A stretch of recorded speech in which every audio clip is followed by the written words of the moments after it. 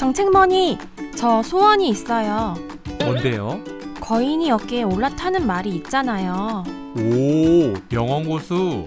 대기업 같은 회사랑 협업해서 우리 스타트업도 건실하게 키우고 싶어요. 오, 딱 이거네. 그런 정책 있지, 있지. 정책 머니 머니. 정책 머니 머니. 알면 돈이 되고 모르면 손해 보는 민간 협력 open innovation 지원 사업을 알려드릴게 요 요. 우와, 얼른 알려주세요. 당근 당근 당근 당근. 오늘 소개할 정책은 민간 협력 open innovation 지원 사업 중 문제 해결형 프로그램입니다. 비트 주세요. 지원 대상 머니. 창의적인 아이디어와 기술을 보유한 스타트업 누구나 해당됩니다. 지원 내용 머니. 최종 선정된 스타트업에게 사업화 자금 최대 1억 원과 멘토링, 기술 개발 자금 최대 1억 2천만 원을 연계 지원합니다.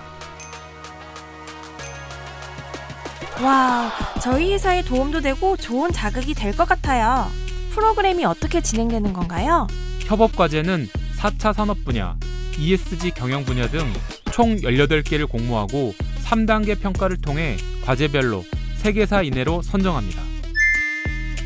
신청 방법 머니 K 스타트업 누리집을 통한 온라인 신청만 가능합니다. 신청 기간은 3월 22일부터 5월 10일 16시까지 대기업 등과 협업을 통해 성장의 발판을 마련할 수 있는 기회를 놓치지 마세요. 그러게요. 당장 신청하러 가야겠어요.